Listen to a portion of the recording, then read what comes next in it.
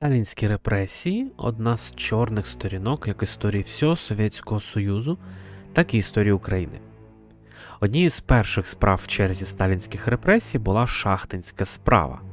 Справа 1928 року в Шахтинському районі Донбасу за звинуваченням великої групи керівників і фахівців вугільної промисловості з Вищої ради народного господарства, тресту Донвугілля і шахт у шкідництві і саботажі. Ще в 1923 році шахтарі Донбасу, вимотані від голоду та злиднів, висунули петицію з вимогою покращення умов праці, підвищення зарплати, дотримання техніки безпеки та розвитку місцевого самоврядування. У мітингах взяли участь близько 10 тисяч шахтарів. Оскільки Совєтський Союз це держава селян і робітників, то шахтарі апріорі не могли бути незадоволеними життєвим рівнем в державі, тому совєтська влада розігнала мітингуючих за допомогою армії. Скільки людей загинуло та постраждало, залишається невідомим.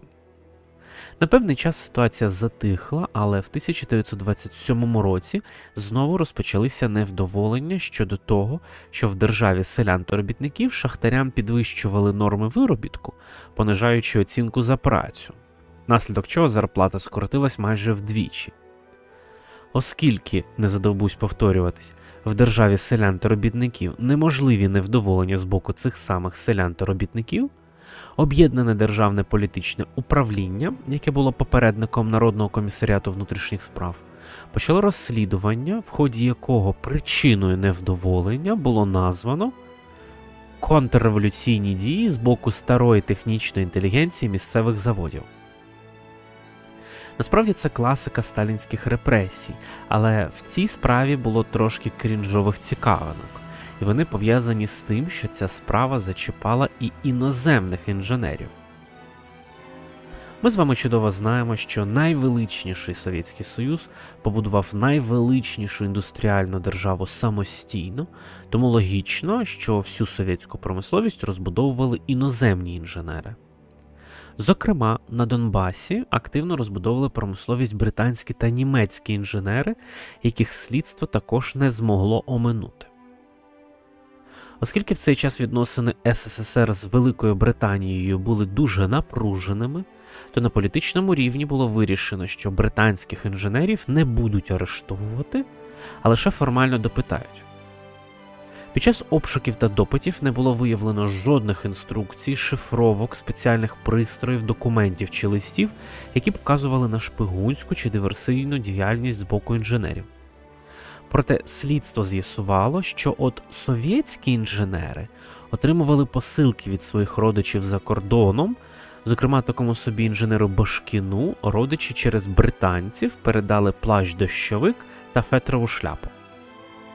Ось тут я зроблю невеличку ремарку щодо того, що працівники спочатку ОДПУ, а потім НКВС мали просто унікальну і надзвичайну фантазію під час пошуків причин, за які можна репресувати. Так от, слідство дійшло висновку, що плащ дощовик це сигнал змовникам вчинити великий акт саботажу, а фетрова шляпа сигнал до вчинення дрібної диверсії. Якщо ви не зрозуміли, що мається на увазі, вітаю! Ви адекватна людина. Слідчі НКВС в звіті написали, що коли на виробництві треба було вчинити великий саботаж за замовленням Лондону, то інженер Башкін мав вдягнути плащ дощовик на роботу. А коли треба вчинити дрібну диверсію, вдягнути фетрову шляпу. Інші інженери-диверсанти це побачили б і виконали команду. Крім британських інженерів, на Донбасі працювали і німецькі інженери. Але оскільки з Німеччиною у СССР були якраз хороші відносини, то, на відміну від британських інженерів, німців було прямо заарештовано. Народний комісар з іноземних справ Георгій Чечерін передав німецькому послу список з шести арештованих німців, серед яких значився навіть цілий директор німецької фірми КНАП Кьостер якому ОДПУ інкримінувала диверсійну діяльність та витрату на шпигунство аж цілих 200 тисяч совєтських рублів. Це стало причиною скандалу, адже директор Кьостер на момент арешту в Шахтині взагалі перебував у Німеччині і ніколи в своєму житті не приїжджав в СССР. Після порівняння списків інженерів з обох сторін з'ясувалося, що в німецьких списках ніякого інженера Кьостера немає. На запитання німецького посольства, що ж це за шостий арештований з п'яти наявних німецьких інженерів, совєтська сторона відповіді не надала.